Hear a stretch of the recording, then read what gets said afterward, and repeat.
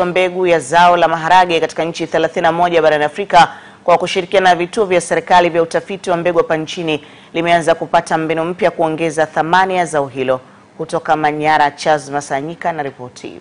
Akizungumzia uboreshaji wa teknolojia hiyo, afisa mthamini na mtafiti katika shirika hilo hapa nchini Bi Silvia Karemera amesema Kwa hiyo sisi tuna mpango wa kuhamasisha zaidi kwa kupitia uzalishaji wa mbegu.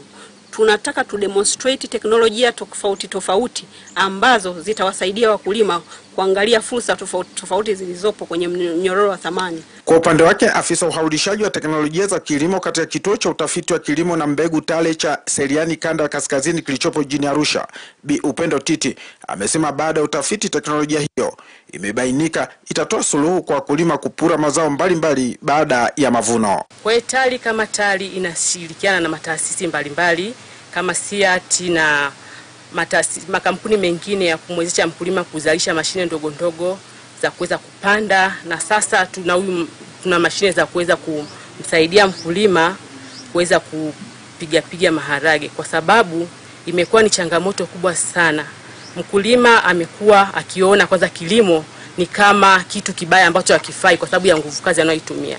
Hata hivyo, akifanya majaribio ya upuraji wa zao la maharage katika kijiji cha Dohom wilayani Babati mkoani Manyara, mgunduzi wa teknolojia hiyo Bwana Alfred Chengula amesema licha ya kubuni mashine hamsini na mbili kupitia mfumo wa serikali wa kuanzisha viwanda vidogo kupitia vikundi vya wajasiriamali, lakini hayo ni mapinduzi kwa wakulima. Kweli tumeweza kubuni teknoloji ambayo tumeweza kubuni kwa ajili ya kuweza kumsaidia mkulima mdogo mdogo, na ni teknoloji ambayo ina uwezo wa kutumika kwenye kupiga piga na kupepeta mazao mbalimbali.